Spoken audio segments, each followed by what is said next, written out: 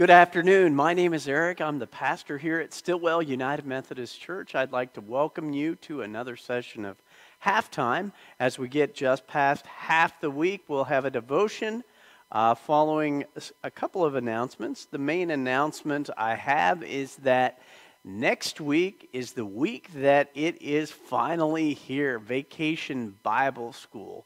It's a big event in the life of the church, so we invite you to pray for, uh, well, first pray for all the kids, the kids that aren't a part of this church, the kids that aren't a part of any church. And this may be their only opportunity this summer to find out about Jesus and, and ways to grow in their faith. And, and pray for them to be able to find ways connect to connect with Stilwell or with another church that may be closer to where they're at. We also ask you to pray for all of the volunteers, which we have a lot helping out uh, throughout the week. So, so pray with them, uh, pray for them. And um, on a practical note, Kevin asked that if you could donate some boxes of Kool Aid coolers or Capri Sun for uh, snacks and for the volunteers, for the kids uh, that would be much appreciated.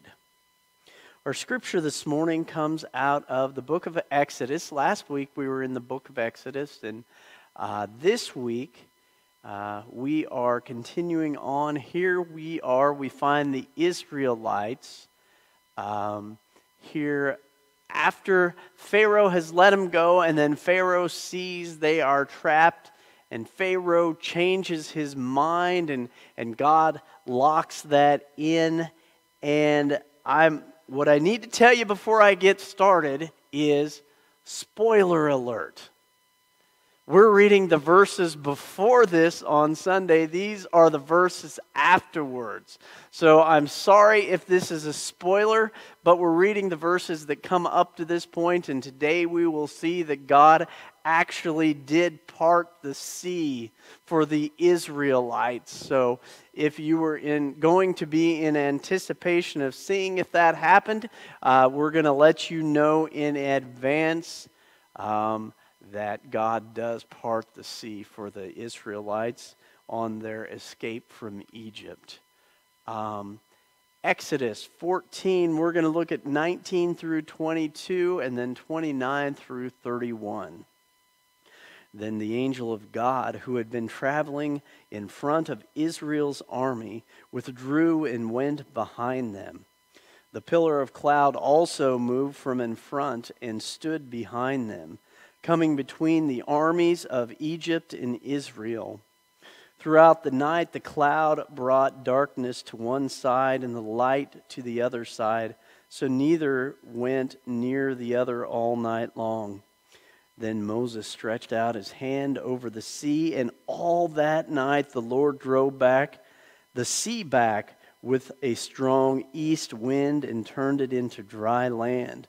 The waters were divided. The Israelites went through the sea on dry ground with a wall of water on their right and on their left. The next section is going to go into the Egyptians pursuing them and them walking into the sea with the water on each side. But then, after the Israelites get through, the water collapses on them.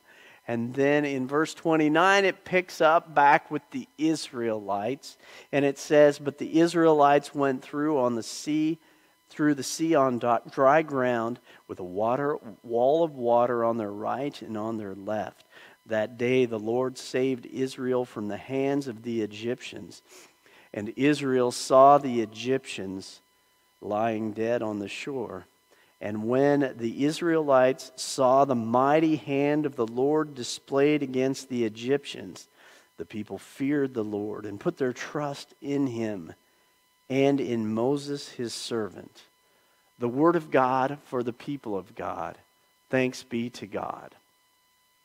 Now, what we see in here is something that you've probably heard from the time you were a child about the parting of the sea, the parting of the sea to allow the Israelites to go through and then the waters to come down to stop their oppressors from bringing them back into captivity. This Uh, we're looking at Exodus as part of our series on God's declaration of independence, seeing how the uh, founders would have seen that we are endowed by our Creator with certain unalienable rights, and that our freedoms come from God Himself. So, so how does that work?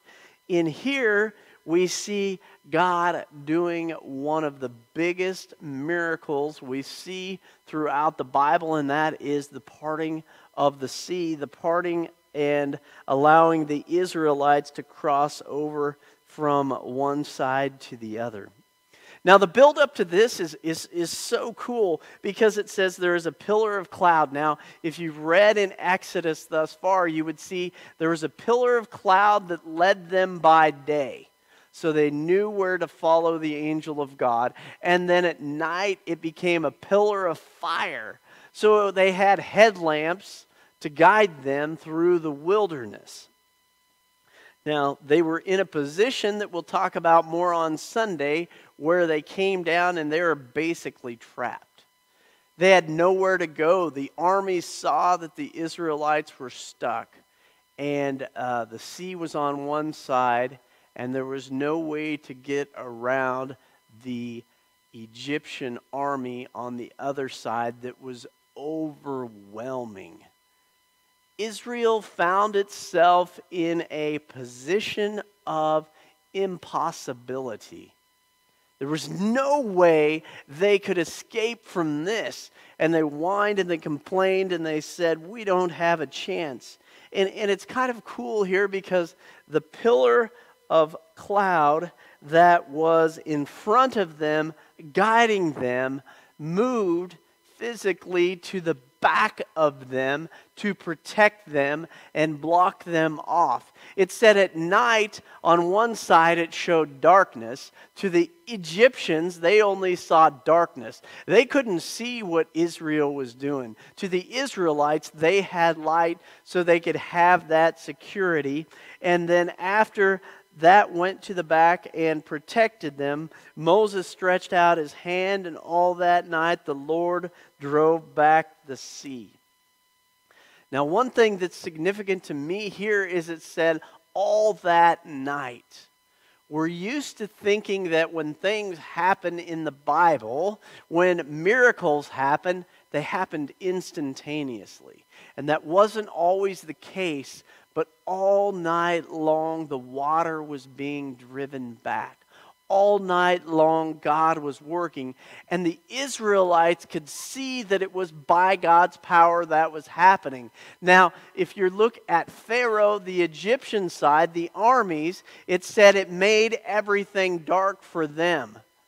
So they might have been hearing the winds roaring and the waters rushing and piling up but they probably could see nothing that was going on. And the next thing they know, what they could see is the Israelites walking through the water. So they decided to follow, thinking no matter, even if the waters moved, they were still stuck.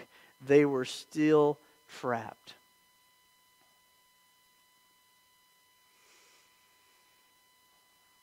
And it says the Israelites saw the mighty hand of the Lord displayed against the Egyptians. They feared God and put their trust in him and in Moses, his servant. What I want to think about is, is this as we are here in the midweek and we're going to talk about it more on Sunday. But when have you faced something that was impossible? There's no way out when you're stuck? Is it a health issue? Is it a job issue? Is it a family or relationship issue? When are you facing something that is stuck and it can't go anywhere? Everywhere you look, you're trapped. You look one way, you see the Egyptian army, the other way, you see the sea. There's nowhere to go, there is only pain and destruction in every which way. Now, when I see the Israelites here at this, and I think about situations in my own life where it seemed like I was stuck, where it was impossible. I look at Luke 137. Luke 137 is when the angel Gabriel came to Mary and told Mary she the Holy Spirit was going to come upon her and she was going to be of a child, and that child would be the child of God. And she said, How can this be so? For I am a virgin. It seemed impossible. And Gabriel said, For nothing is impossible with God. Now, in our NIV, it says, Everything spoken by God will happen. Now, what's interesting with that is the King James leaves out a couple of words that are extremely important, and they are the words pas and rhema. Pas means everything, rhema means spoken by God. And if we go to Matthew 137, the whole thing together actually reads in the Greek in the Hebrew for nothing is impossible from with or by God everything spoken. Meaning every word of God that is spoken means what God speaks is not impossible. God will make happen so when I look at those impossible situations, like, like I didn't, I didn't grow up thinking, you know, I am trapped, I am hurting, I need to pray to God to get out of this. I thought about who can I reach out to to help me, or how can I get myself out of this myself? The, the first, my go to is how do I get out of this myself? How do I make a resolution for this? How do I find a way out? And I remember, and it seems so silly at the time, but I was like 24 years old, and I was an, an accountant. And I was, if you've ever done any uh, double entry accounting, I was coming down with this balance sheet that was out of balance. Something was out of whack. And if you're an accountant, that is the most uncomfortable feeling you can probably experience in your life when the debits don't equal the credits.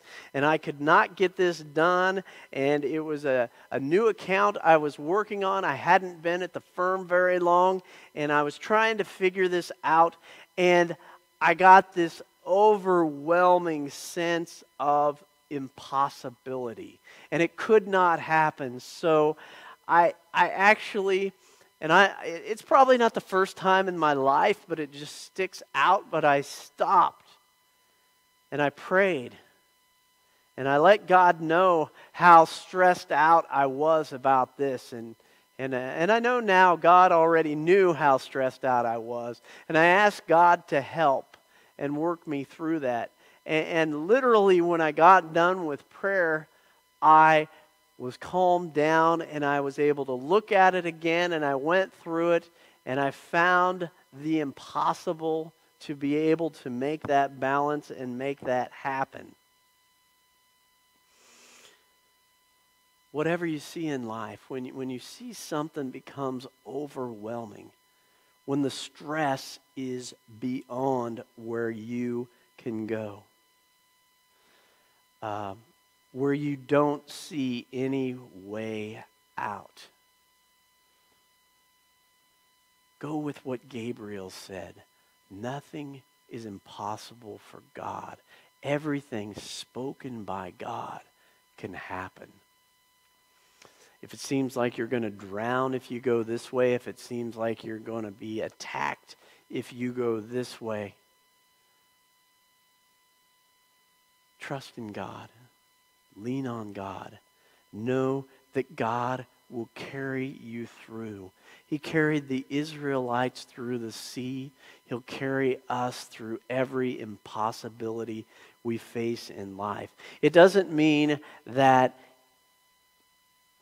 God's just going to take away everything in our life and we don't have hardship or we don't have discomfort or we don't have pain or we don't have hurt. But what it means is that pillar of cloud that was with Israel, the presence of God will be with us no matter what we face. Will calm the storms of our hearts and will walk through everything with us. Nothing is impossible for God. Let's pray. Gracious God, thank you so much for loving us. Thank you for being with us. Thank you that we can go and look at the Exodus, knowing that you want freedom in our lives, that you don't want us to be overtaken by fear, by doubt, by concern, by um, any enemy we would have in our lives. We pray, God, that you would calm our hearts, that you would give us strength, and that we, God, would trust that you're with us in everything. Help us to turn to you. Help us to realize that we can't do everything on our own and we need you. Today, God, we call out to you and we ask that you would guide us, that you would part the seas, and that you would make a way where it seems impossible in our lives. Give us strength, give us hope, and give us that peace that passes all understanding in the little things and in the big things so that we can step out in faith. We pray this in Jesus' name. Amen. Have a great rest of the week.